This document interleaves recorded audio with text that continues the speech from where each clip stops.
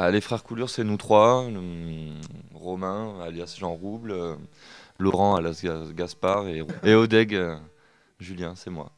C'était ça au Graffiti 2000. Donc euh, on a trouvé plus rigolo quand même d'utiliser ce qui peut être apparenté comme un défaut dans la peinture pour, pour, pour faire un travail un peu plus élaboré que, ce qu'on avait l'habitude de faire avant. Voilà, on s'est rencontrés sur des murs. Julien m'a présenté Laurent il y a quelques années. Pas mal de collectifs qui s'étaient montés en assaut et on s'est dit que voilà, si on voulait faire des projets sérieux et, euh, avoir une crédibilité au niveau de, certains, partenaires, on va dire institutionnels ou pas, c'est vrai que c'était pas mal d'avoir un nom, générique voilà, qu'on retient et, sur lequel on peut aussi travailler. Ce qui nous a permis d'accéder à, des gros festivals, de l'orga, voilà, des lieux, à des rencontres. Chacun a, son style et sa personnalité dans, ses dessins et ses peintures.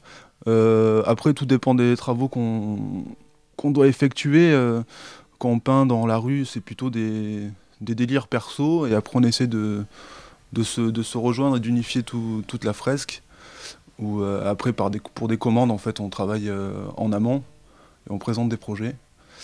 Et, euh, mais après, voilà, le plus dur, c'est justement de, s'unifier, euh, nous trois, pour faire quelque chose, de, une peinture commune. Quoi. Personnellement, ça va être plus basé sur, euh, sur l'humour, contourner un petit peu l'état d'esprit du, du graffiti. moi, je, suis, je, fais, je fais du graffiti, mais je me sens pas spécialement graffeur parce que je peins plus chez moi que, que dans la rue. Je fais de la peinture à l'huile, l'acrylique, après, voilà, je mélange tout. quoi. Va dire que mon, truc, euh, c'est euh, de travailler l'hyperréalisme à partir de photos. Et petit à petit, d'essayer de le mixer avec un, travail plus illustratif, de trouver du fond aussi, parce que finalement, une fois qu'on a la technique, le plus difficile, c'est peut-être d'aller chercher euh, autre chose que, que, le beau, on va dire. Quand on fait des peintures communes, généralement mon travail il, il est utilisé à faire le lien entre plusieurs idées.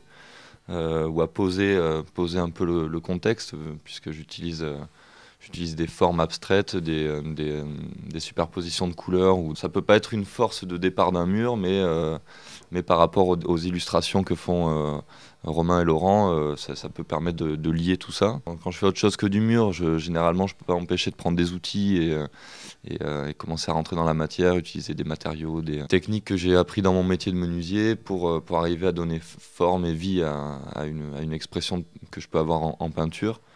Mais j'ai du mal, une fois sorti d'un mur, euh, d'un mur extérieur où je peux peindre avec des bombes, j'ai du mal à rester que dans la peinture.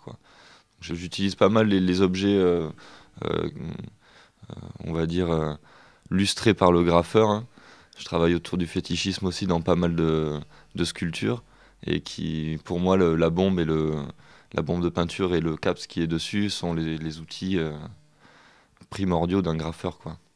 Pas mal de projets personnels, d'expositions, euh, dont transfert ici au Vivre de l'Art. On fait depuis trois ans et on espère euh, bientôt quatre. les vibrations urbaines aussi à Pessac depuis, depuis 2010 on a participé et maintenant voilà, on est devenu euh, organisateur de la partie graffiti euh, de la fresque. Le Reggae Senska cet été où on a participé avec les chats du cimetière à, la décoration. On est socialisé mais à côté il n'y a pas de contraintes. On est tout à fait libre de créer avec d'autres personnes. On reste indépendant dans le collectif et ça c'est important.